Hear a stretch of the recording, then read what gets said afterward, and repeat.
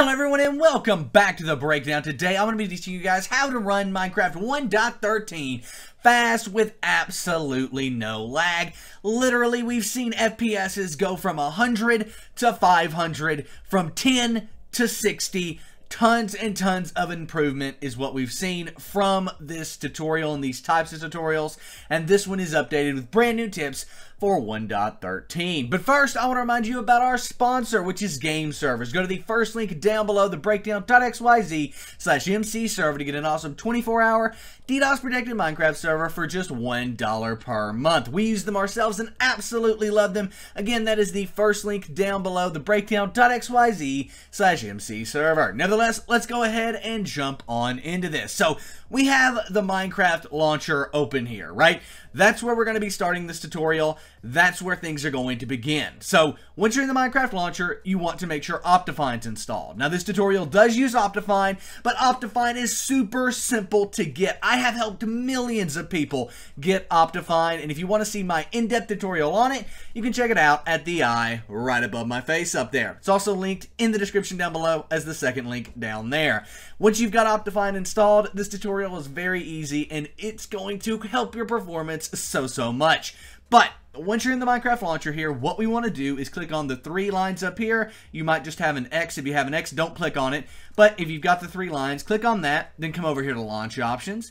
Then you should have an Optifine profile here. Now you want to make sure that it does say release 1.13-Optifine. If it does, you're good there. But then under resolution, you want to change it. Now, the smaller this is, the better, right? 854 by 480 will give you a very, very small Minecraft window, but it will reduce your lag a ton.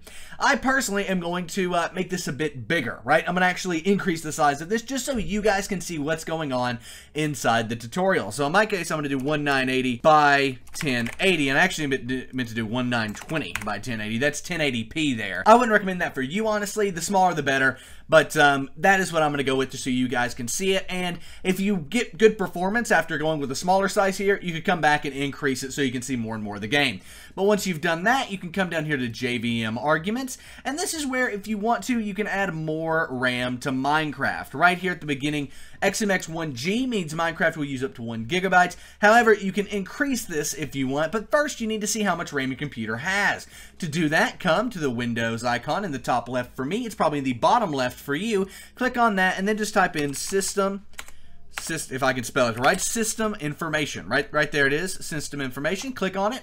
It's going to open up this. Now, what we're going to be looking for is this right here. And as you can see, installed physical memory, which is your RAM, for me is 32 gigabytes. That means I could dedicate 16 gigabytes to Minecraft and be perfectly fine. But let's just say you have 8 gigabytes. The max I would recommend with 8 gigabytes is 2 to 4 gigabytes of RAM dedicated to Minecraft.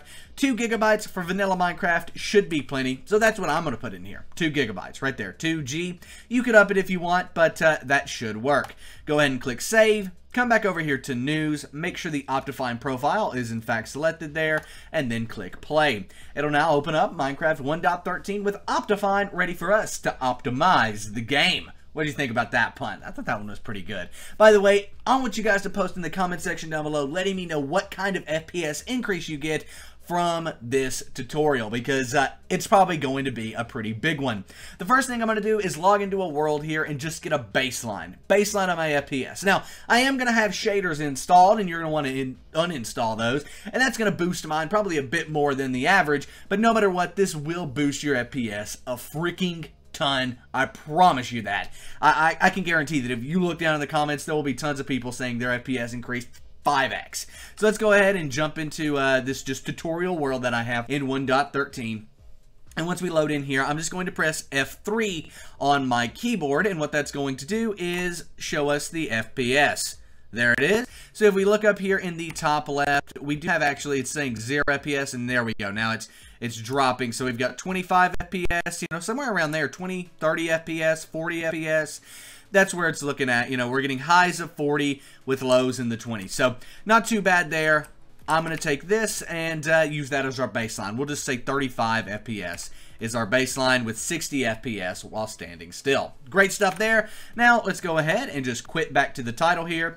We're going to go into options and then we're going to go into video settings and this is where we're going to be spending all of our time. Now, I'm going to assume that you're playing on a potato, right? That your computer is absolutely horrible, and you're just trying to get the best FPS that you can possibly get. If that's the case, this is the video for you, but I want to encourage you to change any and all settings that you want. If you want to play with shaders, you can give it a shot. If you want to increase your render distance, you can give it a shot, but I'm assuming that your computer is horrible and you're trying to play Minecraft, this is going to be for you. It's going to be for you even if it's not, but this will help you kind of guide your settings. So, for graphics, we just want to go on fast. Render distance, we're turning it all the way down to tiny. Frame rate, leave that unlimited. For smooth lighting, we want it to be off. Smooth lighting level, make it off. Zero. View bobbing, it's not going to like affect FPS at all. You can leave it on or off, whatever makes sense to you. I like turning it off. GUI scale, the best thing you can do is that, which is uh, GUI scale 1 or small, right? The smallest you can get it. However, I'm doing a tutorial here and you guys can't see that, so I need to make it uh, as big as I can there which is 4. So use VBOs. You're going to want to leave that on or turn it on. That's going to increase uh, FPS quite a bit by using uh, Optifine's own rendering method rather than Minecraft's one. Now, brightness doesn't matter where you keep your brightness. Personally, I like to leave it all the way bright. Attack indicator, not going to change FPS at all, but if you want to change it to something, you can. I'm just going to leave it the crosshairs because that's what I like. Dynamic lights needs to be off. Dynamic FOV also needs to be off and because what FOV is is whether it changes when you're running or not and that does cause some lag specifically if you have a bad graphics card. For shaders we're going to go ahead and turn this off here. It's going to take me a second. I'll see you guys after a jump cut. When you turn off shaders, it typically takes a while, and it might actually look like your computer or Minecraft is going to crash. If that's the case, just wait it, will eventually turn itself off. It's just a lot of stuff to deactivate. And that's what I was talking about. See, it says not responding right now. It looks like Minecraft's going to crash, that it's going to die, and that's not going to be the case because there you go. It is now good to go. Go ahead and click done there. Now we're going to jump over here to our quality tab and we're going to do mini map levels. Get this all the way down to level 1, which is where I would necessarily recommend it. It's not going to affect uh, performance too much. There we go. Off. So um, that's going to give you the best performance but uh, it's not going to affect it too much. It actually says that. This option usually does not affect the performance, but typically turning something off and having the game not do a thing could help it.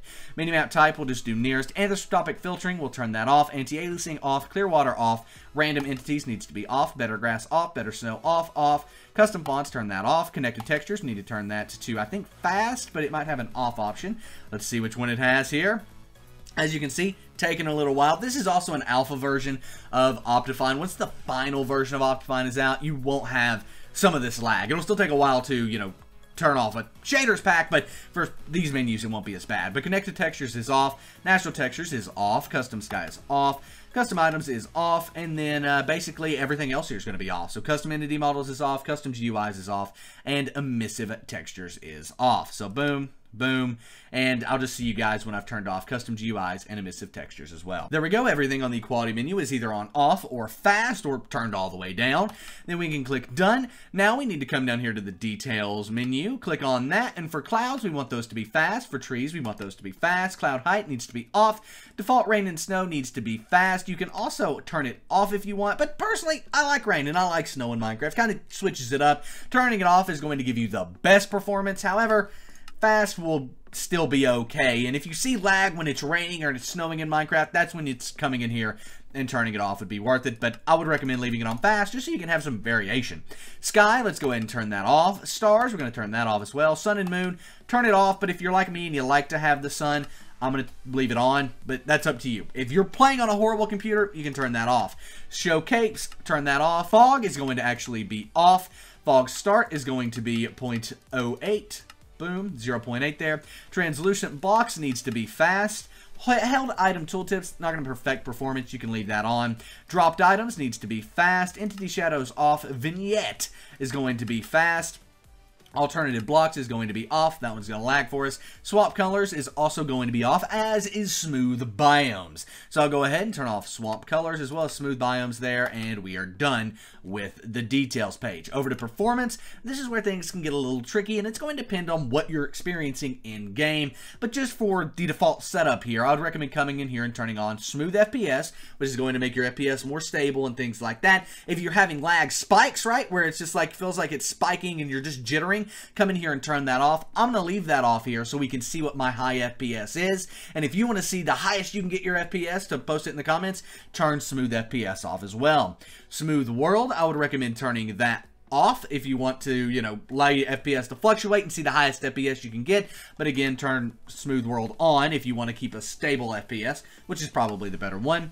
Fast rendering, I would recommend going ahead and turning that on. And it's going to really help you here if you have a GPU. If you don't have a GPU, like an external GPU, like I have a 980 Ti GPU, that's going to help. If you're using an Intel GPU, like Intel graphics, it might be best to turn that off because it's not going to be able to use your processor in that way. But if you have an external GPU, go ahead and turn that on. You want to go ahead and turn fast math on, and that's going to utilize your CPU, right? And everyone has one of those, but if you have a really bad CPU, like a really poor performing CPU, like a Core i 3, like a really old Core i3 or Core 2 Duo or something, you probably want to leave that off. I personally have a pretty nice i7, so I'm going to turn that on. Chunk updates, I want to leave that at 1 because it's going to give us a slower loading world, like chunks are going to load slower, but our FPS is going to be higher. Dynamic updates is going to be turned on because basically when you're standing still, it's going to be loading more, and if you're moving, it's going to be loading less because when you're moving, you're going to be using the game more than when you're standing still. Hope that makes sense. Render regions, you want to go ahead and turn that on, and that's going to allow faster rendering of terrain. Let's say you're running a higher uh, render distance or something like that. That's going to help for you, and it's not recommended if you have integrated graphics cards. So what we were talking about before, if you're using Intel graphics, you want to turn this off, but if you have an integrated GPU, like I do, you want to go ahead and turn that on.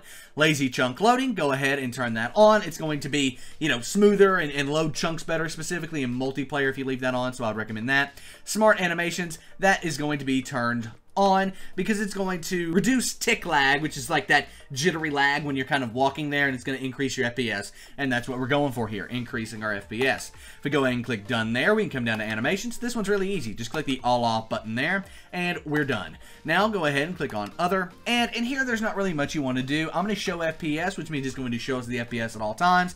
And there's weather. Now, if you want to turn weather off, basically that means any and all weather at all, such as rain, snow, all that stuff will be turned off. It's going to make it faster, but personally, I like weather, so I'm going to leave that on. Time, if you want to make it like only day or only night, you can do that. Making it only day will increase FPS simply because mobs won't spawn.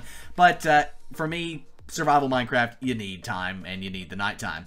Full screen is going to be off. Autosave, you could upgrade this to 30 minutes, right? If you're noticing tick lag, saving could be the culprit. I would recommend, however, changing it to 3 minutes because you could just lose up to 3 minutes of work. If you think, turn this up to 30 minutes, you could lose 30 minutes of work in Minecraft. Now, I don't know about you, but that's a ton of time for me. However, if you're willing to take that risk and lose up to 30 minutes, you could change this to 30 minutes, but 3 minutes is where I would recommend. Screenshot size doesn't matter, and show OpenGL or show GL errors, I would leave that on. Basically, if you have any sort of graphics errors or things like that, it will show you what it is. So now we can go ahead and click done here click done again, and I want to talk about texture packs, right? So as you can see here, the default texture pack is what I'm going to have enabled. There are texture packs that will allow you to increase your FPS. They basically make the textures in Minecraft smaller to, you know, 16 by 16 or something like that. I'm going to link the one that I recommend for 1.13 in the description down below, as well as my video on how to install texture packs in Minecraft 1.13. So go check that out and install that texture pack if you're still having lag after you've done everything in this tutorial. If you're not still having lag, right, and Minecraft Minecraft's running fine with default textures, then you should be good to go. But let's go ahead and click done there. So you can see we only have default texture pack, and then we can click done again. And I'm going to launch into this single player world, same one we were just on, and we're going to see what kind of an FPS increase we got. We were like 30 to 60 FPS before, and if we look up in the top left up here, right up here in the top left, 1600, 2000, 7,000, or not 7,000, 700, 2,300 with a low of 535, 700. Even if we walk around here, guys, that's staying stable around 2,000 FPS. I don't even know what kind of an increase that is. 100 times, I think, something like that. So that is, I think, very much so proof. And we're actually even running some data packs here. See that? There's actually data pack installed in this world, uh, which does actually decrease FPS some. So freaking awesome stuff there. That is how you can optimize Minecraft to be able to play it even with a crappy computer. If you have any questions, post them in the comment section down below. I'm more than happy to help you out. Again, if you need to know how to install Optifine, that is linked as the second link down below, as well as at the eye right above my face. If you want to install shaders in Minecraft 1.13, I wouldn't recommend doing that if you have a super bad computer, but if you're like me and you're getting like even 700 FPS here, you should be able to run shaders. So I would recommend going and checking out that video, which is also at the eye right above my face. Anyway, guys, let me know what FPS you guys got in the comment section down below. If you enjoyed this video, give it a thumbs up. Subscribe to the channel for awesome Minecraft content nearly every single day. My name is Nick. This has been The Breakdown, and I'm out, guys. Peace.